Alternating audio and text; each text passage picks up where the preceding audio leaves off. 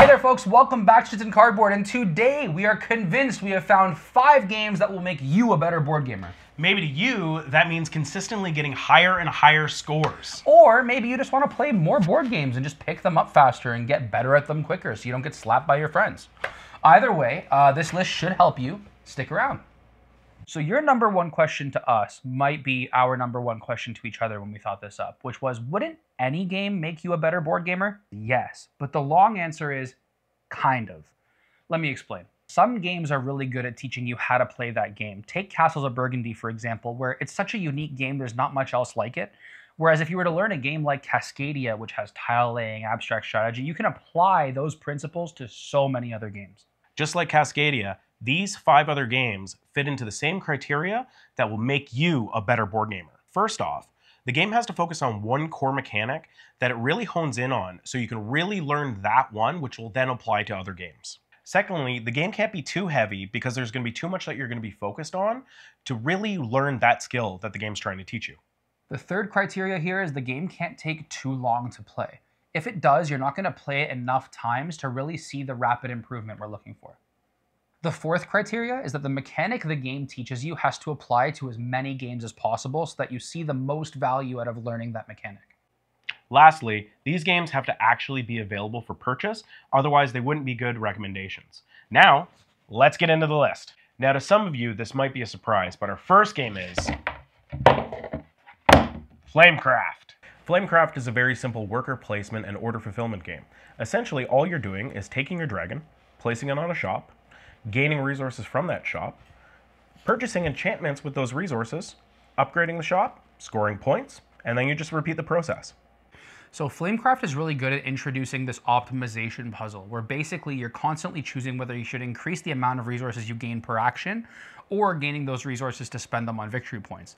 This is a game cycle that, while in its basic form here, is implemented in a much more advanced way in lots of heavier games. Lacerda games, Brass Birmingham being the number one game of all time, that sort of thing. And this mentally prepares you for those games really well. Another great thing Flamecraft has going for it is that the theme is really approachable and is super friendly for people of all ages, really. If you're looking for other games like this that will help you teach similar mechanics, Lords of Waterdeep is a great option, shown up here, or you can grab Parks, which is shown right here. The next game that'll make you a better board gamer is Point City.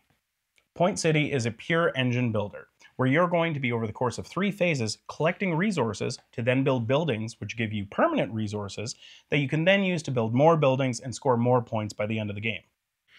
Each turn, you're going to be drafting two orthogonally adjacent cards. For example, this turn, I might take the energy and community.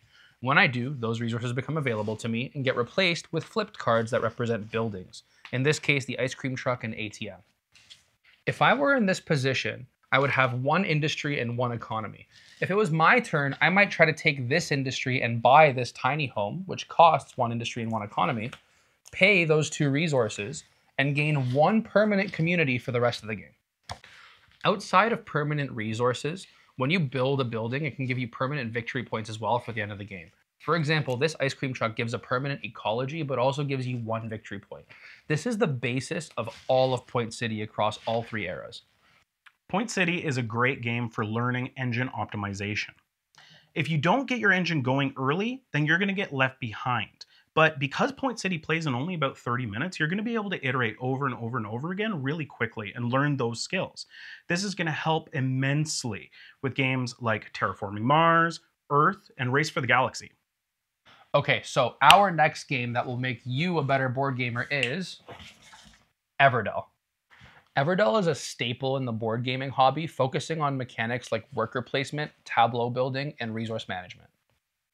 So in Everdell, how am I supposed to talk through this thing? like actually, you know what? Does, it, does anyone even play with this? Okay, screw the tree.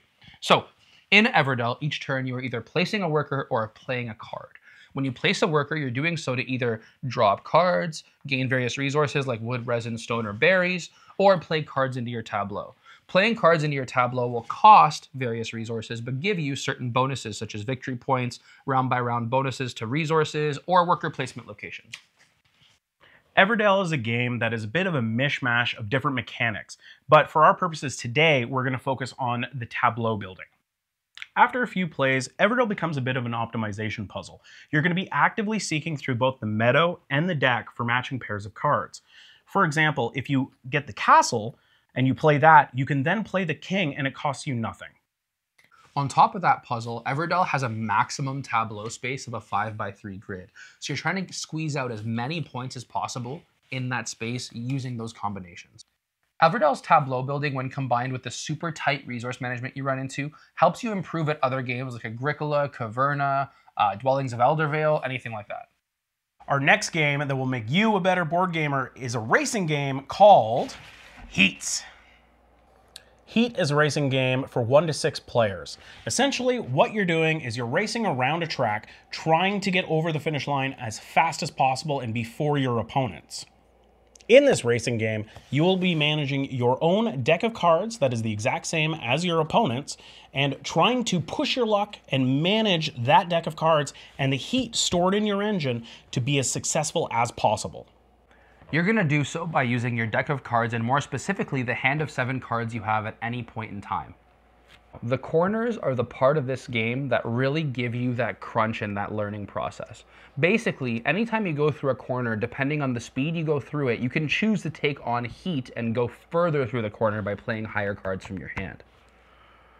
When you boil this game down, what it really becomes is a turn optimization puzzle. There's a number of turns each player will take before the entire group reaches the finish line for the second time, and you're trying to minimize that number of turns to basically get ahead of the rest of the competition.